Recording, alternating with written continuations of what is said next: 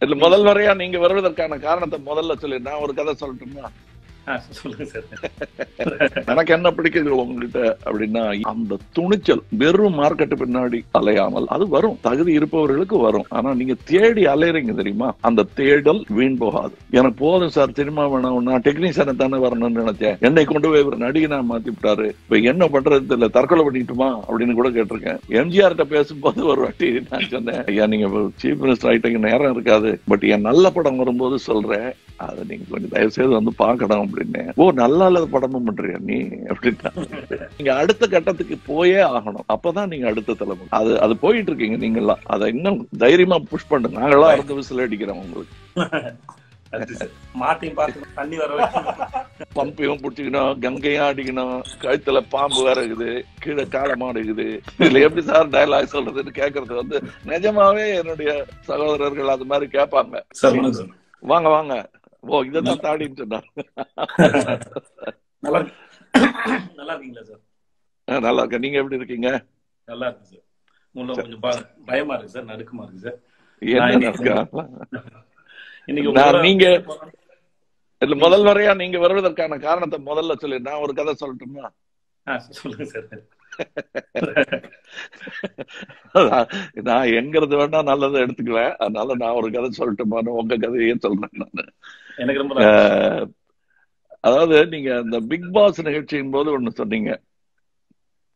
அடுத்த தலைமுறைக்கு எப்படி எடுத்துட்டு போக போறீங்க? உங்களுடைய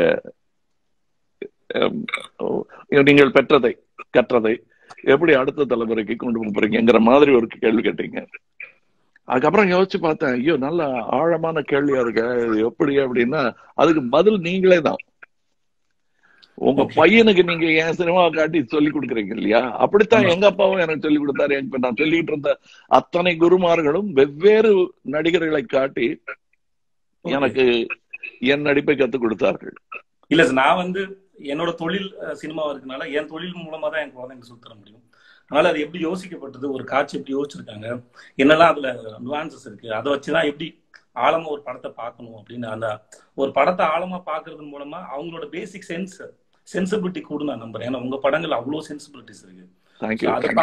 ஏன்னா நான் அன்னைக்கு நான் பிக் பாஸ் நிகழ்ச்சியில அது உங்களோட அறுபது கமல் சார் சிக்ஸ்டில தான் நான் பேசினேன் நினைக்கிறேன். அந்த உங்களோட நீங்க வேலை பார்த்ததெல்லாம் தெரிஞ்சுக்கணும். அடுத்த தலைமுறை கொண்டு போகணும் அப்படின்னு ஆசைப்பட்டதெல்லாம் ஏன்னா எங்களுக்கு கத்துக்கிறதுக்கு வேற எதுவுமே இல்லை. ஸோ உங்களோட நீங்க ஒர்க் பண்ண ஒரு காட்சிக்கு பின்னாடி நீங்க வேலை பார்த்த அந்த அனுபவங்கள்லாம் தெரியும் போது அதோட சின்சியாரிட்டி அதை எவ்வளவு யோசிச்சிருக்கீங்க அதெல்லாம் வந்து சேரணும்னு ஆசைப்பட்டேன். அதனால தான் எனக்கு என்ன பிடிக்குது உங்ககிட்ட அப்படின்னா ஏன் உங்களை தே- தேர்வது அப்படிங்கிறது வந்து நிறைய சகோதரர்கள் இருக்காங்க.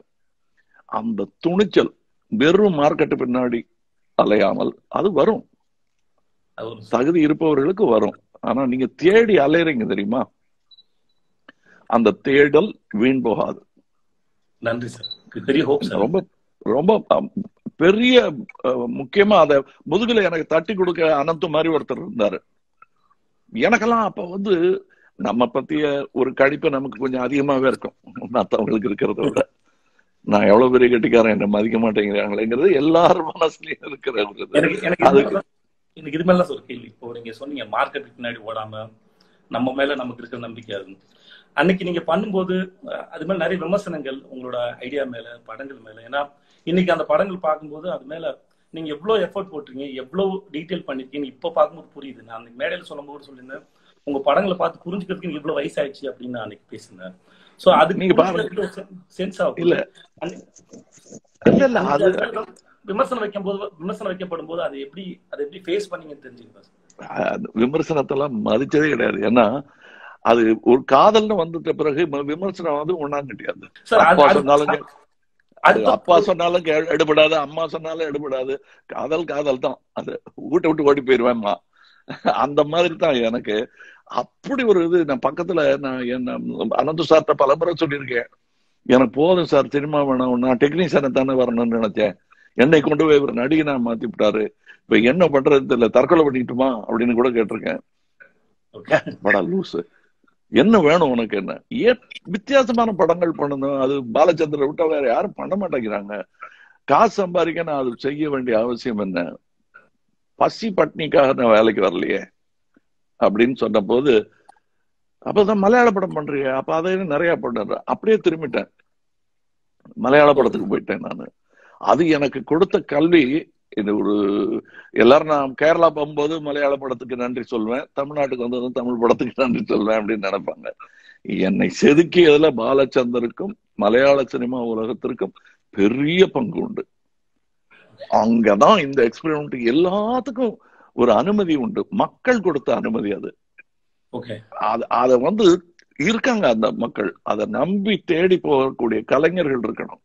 அதுக்கு காரணம் கேரளா பீப்புள்ஸ் ஆர்ட் சென்டர்னு ஒன்று அங்க இருந்தது. அது கூட இருக்கலாம். இங்க அந்த மாதிரி எல்லாம் இல்லாம வெறும் நின்னு ஜோக் அடிக்கிற நாடகங்களாக மாறிடுச்சு அங்க. சோ நாடக பயிற்சிங்கிறது வந்து முடிஞ்சு போச்சு. பாலச்சந்தரோட முடிஞ்சு போச்சு. சோசாரே ஒரு ஒரு நகைச்சுவை நாடகங்கள் தான். ஸோ அழுத்தமான நாடகங்கள்ங்கிறது இல்லாமலே போயிடுச்சு. அது கோமல் சாமிநாதன் நாங்கள்லாம் கூட பேசியிருக்கோம். சோ இந்த தேடல் உங்ககிட்ட நான் பாக்குறேன். நன்றி நீங்க செய்த வேடங்கள்லாம் அந்த காலத்துல செய்யவே விட மாட்டாங்க. செஞ்சா அதுக்கப்புறம் வேற வேஷம் செய்ய முடியாது. ஆனா நீங்க எல்லாத்தையும் பிரேக் பண்ணிருக்கீங்க. நீங்க உடைச்சிட்டு அந்த அந்த காலத்துல என்ன முடியுமோ அதை பண்ணிருக்கேன். அது அடுத்த கட்டத்துக்கு நீங்க போகணும். எம்ஜிஆர் கிட்ட பேசும்போது ஒரு வாட்டி நான் சொன்னேன் ஐயா நீங்க சீஃப் மினிஸ்டர் ஆயிட்டீங்க நேரம் இருக்காது. பட் என் நல்ல படம் வரும்போது சொல்றேன். அதை நீங்க கொஞ்சம் தயவு செய்து வந்து பார்க்கணும் அப்படின்னேன் ஓ நல்லா இல்லாத படமும் பண்றியா நீ? அப்படின்னா. அது பெரிய பாடம் அது. இல்லைங்கய்யா அது எப்படின்னு தெரியல. நீங்க பண்ணதெல்லாம் எது எது வெற்றி பெறும்னு பார்த்து பண்ணோம் ஏன் ஏன் நான் ஏறின படியிலேயே ஏன் ஏன் ஏறிக்கிட்டு இருக்க? நான் கட்டினதே அந்த படிகள் நான் ஏறணும்னு தான். முடியல வேலை முடியல. அது இருக்க அடுத்த படிக்கு போ அப்படின்னு சொன்ன போது எனக்கு ரொம்ப ஆச்சரியமா இருந்தது. சிவாஜி சாரும் சரி திலீப் குமார் சாரும் சரி இவங்க எல்லாம் அந்த அடுத்த கட்டத்துக்கு உந்தி தள்ளுகிறார்கள். அதே தான் நான் உங்களுக்கும் சொல்றேன். நீங்க அந்த காலத்திலே பண்ணிட்டீங்கன்னு சொல்றது வந்து எனக்கு வேணா இப்போது பெருமையா இருக்கலாம். ஆனா நீங்க அடுத்த கட்டத்துக்கு போயே ஆகணும். அப்பதான் நீங்க அடுத்த தலைமுறை. அது அது போயிட்டு இருக்கீங்க நீங்கெல்லாம். அதை இன்னும் தைரியமா புஷ் பண்ணுங்க. நாங்களாம் அடுத்த விசில் அடிக்கிறோம் உங்களுக்கு. சார். நான் இன்னைக்கு உங்கள்கிட்ட பேச போறேன் சார். நிறைய நண்பர்கள்ட்ட எல்லாம் கேட்டிருந்தேன். நிறைய பேர் அவங்க கேள்வி எல்லாம் கேட்டிருக்காங்க. ஸோ அதுல நான் ஒன்னொன்னா உங்கள்ட்ட கேட்க விரும்புறேன் சார். முக்கியமான இது. அபி கேட்டது மாதிரி தான் நீங்க இப்ப நிறைய குருமார்கள் இருந்தாங்க சொல்லி கொடுத்தாங்க. அதன் மூலமா கத்துக்கிட்டு வந்திருந்தாலும் நிறைய பேர் சொல்லி கொடுத்தா நம்ம எந்த பாதையில போறது தேர்ந்தெடுக்கிறது நம்மளோட சாய்ஸ் ஏன்னா வெற்றி அடையக்கூடிய படங்கள் நான் பணம் சம்பாதிக்க மார்க்கெட் நோக்கி ஓடுவேன்னா கூட எந்த பக்கமா என்ன செலுத்துறேங்கிற ஒரு ரசனை ஒரு நீங்க தேர்ந்தெடுப்பீங்க ஒரு ரசனையை ஒரு தேர்ந்தெடுப்பீங்க இந்த மாதிரி இருக்க விரும்புறேன். இந்த நாலேஜ்ல போக விரும்புறேன். வெதர் அது வந்து சக்சஸ் ஆகுமா இல்லையான்னு கூட தெரியாம அந்த நாலேஜ்ல போக விரும்புறேன்னு நினைக்கிற அந்த சிந்தனை எங்க ஆரம்பிச்சது? அது எங்க தொடங்கிச்சு? எனக்கும் பாலுமேந்திரா அவர்களுக்கும் ஏற்பட்ட நட்பு அனந்துடன் ஏற்பட்ட நட்பு பாலச்சந்தர் அவர்கள் ஏற்கனவே ஒரு மலை அவரு. அதுல விளையாடுறதுக்கு நிறைய இடம் கொடுத்தாரு எங்களுக்கு. முப்பத்தாறு படம் அவர்களோட. சோ அது ஒரு தனி பாதை இருக்கும்போது ஒரு கூட்டம் பாலச்சந்தர் சாருடைய அடுத்த கட்டத்துக்கு சினிமா எடுத்துட்டு போகணுங்கிற ஆர்வத்துல இருந்தவங்க புனே பிலிம் இன்ஸ்டியூட்ல படிச்சுட்டு வந்தவங்க. பாலுமேந்திரா அப்படிப்பட்டவர் தான். ஒரு கேமராமேனா நான் மலையாள படத்துல டெக்னீஷியனா ஒர்க் பண்ணிட்டு இருக்கும்போது அவர் வந்து பழக்கமானாரு. சோ நட்பு அப்படியே வளர வளர என்ன ஒரு நடிகனா அவர் பார்க்க ஆரம்பிச்சாரு. பாலச்சந்தர் எப்படி பார்க்கிறாரோ. அப்ப நான் கேட்டேன் பேசாம எல்லாத்தையும் நிறுத்திட்டு என்னை எப்படியாவது சிபாரிசு பண்ணீங்கன்னா நான் போய் மறுபடியும் பிலிம் இன்ஸ்டியூட்ல சேர்ந்துடலாமான்னு இருக்கேன். ஐயா அதெல்லாம் பண்ணாத. நீ கால் வச்சுட்ட இங்க. வழுக்காம கால் வச்சுட்ட. இப்போ ஏதாவது சந்தேகம் இருந்தா என்கிட்ட கேளு. உனக்கு என்ன தெரிஞ்சுக்கணும்? சினிமாட்டோகிராஃபி தெரியணும் அப்படின்னு. நான் சொல்லி தரேன். நான் எப்பவும் பாலுமேந்திரா என் படத்துக்கு கேமராமேனா இருந்தா நான் கேமரா நின்றுட்டு இருப்பேன் ஷார்ட் இல்லைன்னா. நானு திரு பரதன் அவர்கள் பாலுமேந்திரா அவர்கள் இவங்க எல்லாம் கூட உட்கார்ந்து இருக்கும்போது பாலுமேந்திராவுடைய கோபம் இந்த கமர்ஷியல் சினிமா மேல ரொம்ப ஜாஸ்தி இருந்தது அப்ப. நான் அவங்களோட பேசிக்கிட்டே இருக்கும்போது இவங்க பொழப்பில்லாம கெடுத்துருவாங்க இவங்க இருக்கு இந்த ரெண்டு பேருங்கிற பயம் வந்துருச்சு எனக்கு. ஏன்னா இப்படியே போனோன்னா அப்புறம் எங்க டெல்லி ஆர்ட் பிலிம் அவார்டு அப்படித்தான் வாங்கிட்டு இருக்கணும். நான் அவங்க கூட சண்டை போடுவேன். சாப்ளின் ஒரு பெரிய ஒரு முக்கியமான உந்தல் என்னுடைய லைஃப்ல சார்லி சாப்ளின் அது ஏன் அப்படிப்பட்ட படங்களை நம்ம பண்ணக்கூடாது? அவர் சீரியஸும் பண்ணியிருக்காரு. மக்களுக்கு சென்றடைகிற படத்தை எடுத்துட்டா என்ன அவமானம்? ஓகே சினிமா தரம் குறையாமல் மக்களுக்கும் சென்று அடைந்தால் அது அப்படி பண்ணவே முடியாது. இவங்க கிட்ட போனா கோடமங்கலத்துல கவுத்தி விட்டுருவாங்க உன்னை அப்படின்லாம் சொன்னாரு. ஆனால் அதைத்தான் அவரும் நானும் சேர்ந்து செஞ்சோம். அது மூன்றாம் பிறைங்கிறது. மக்களையும் சென்று சில்வர் ஜூப்ளின்னு ஒரு ஷீல்டையும் கையில கொடுத்துட்டாங்க. சோ ஒரு இவங்க படம்- தான் வந்து ரொம்ப முக்கியமான காரணம். அதனாலதான் நான் சகலகலாவலன் வந்து எல்லாரும் திட்டுவாங்க. பாலு மகேந்திராவே திட்டுவாரு. நானும் கூட சேர்ந்து திட்டினேன். ஏன்னா அவமானமா போச்சு. என்னடா அது இப்படி திட்டுறாங்களே ஃப்ரெண்ட்ஸ் எல்லாம்னு. அப்புறம் யோசிச்சு பார்த்தேன் அந்த வழியை நான் தொடவில்லை என்றால் ராஜ்கமலே ஆரம்பிச்சிருக்க முடியாது. அதான் என்ன தொடர்பு? சார்? இதுல என்னன்னாங்க இது டிக்கெட் போட்டு செய்கிற வியாபாரம் தானே. தர்மத்துக்கு நான் பாடுற பாட்டு இல்லையா. தியாகையர் எப்படி ராமனை பா- போற்றி தஞ்சாவூர் வீதியில பிச்சை எடுத்துட்டு பாடிட்டு இருந்தாரோ? அப்படிப்பட்ட கலை இல்லையா. எனக்கு கார் வாங்கணும்னு ஆசை. டிக்கெட் வைக்கணும்னு ஆசை. எம்ஜிஆர் மாதிரி ஆகணும் சிவாஜி மாதிரி ஆகணும்னு ஆசை. அப்ப மக்களை மகிழ்விக்க மாட்டேன்னு அது என்ன வீம்பு? அவங்களுக்கு இன்னும் என்னுடைய கலை புரியலன்னா அவங்கள அங்க கொண்டு வரணுமே தவிர நான் போய் தனியா காட்டுல மகரிஷியாவும் உட்காந்துக்கிற முடியாது. அவங்களுக்கு அப்படியே உழண்டு அவங்க கூட சேத்துல குளிச்சுட்டு அங்கேயே குளிக்காமலே இருந்திருக்க முடியாது.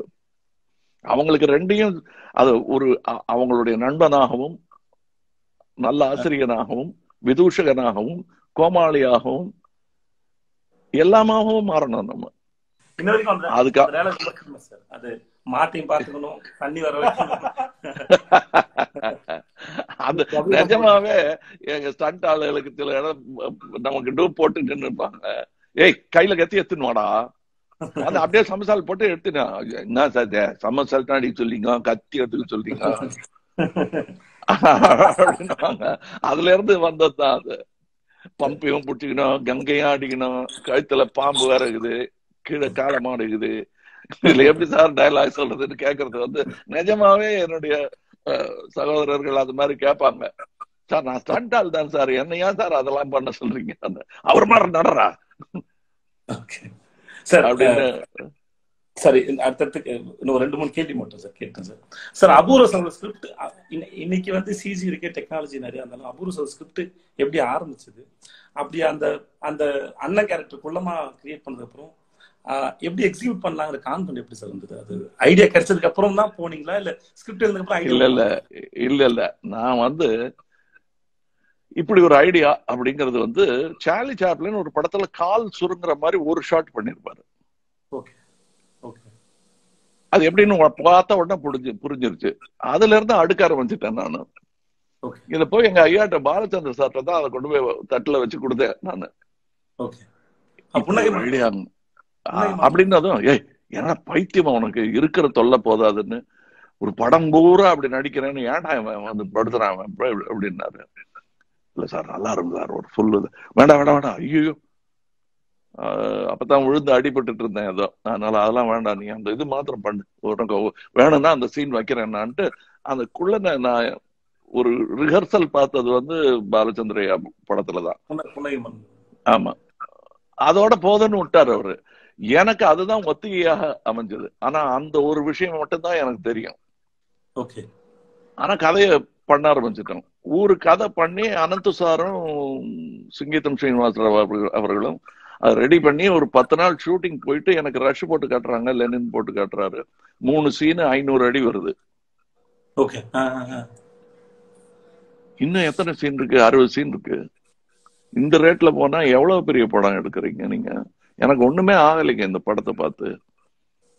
அப்படின்னு. இல்ல இல்ல அது குள்ளம் கேரக்டர் கம்மியா வச்சுக்கிட்டு இருக்கோம். ஏன்னா எடுக்கிறது கஷ்டம். அதுல எனக்கு மாற்று கருத்து இருந்தது. திரும்ப திரும்ப திரும்ப பேசிக்கிட்டே இருந்தோம். இது சரியா வரலன்னு. நான் என்ன நினைச்சேன்னா நாம பேசின இடத்துலயே உழந்துகிட்டு இருக்கான். நல்ல கமர்ஷியல் சகலகலால் ரைட்டர் கூட்டிட்டு வரேன். அவர்கிட்ட இதை காட்டுறேன்.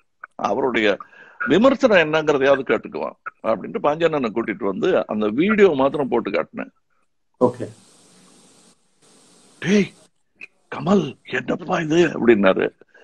சரிண்ணே இப்ப இந்த கதை ஏன் அவன் தான்ப்பா ஹீரோ தான் ஹீரோ அவனை விட்டுட்டு நீங்க என்ன படம் எடுக்கிறீங்க?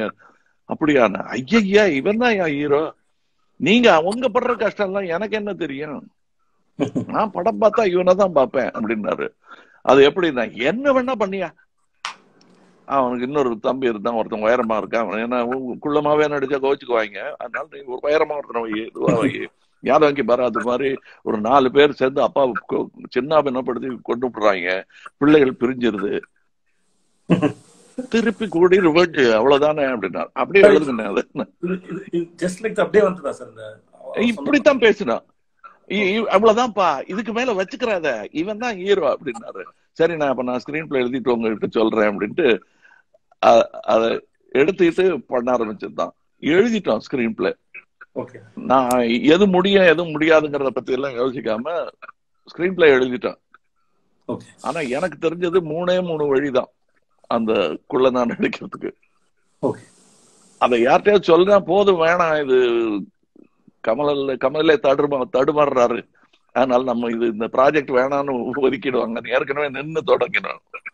எனக்கு எல்லாம் இருக்கு இங்கன்னு போய் சொல்லிட்டேன். முதல் மூணு இது நைட் எல்லாம் முதல்ல ஒரு ஒரு வாரம் எனக்கு தூக்கமே கிடையாது.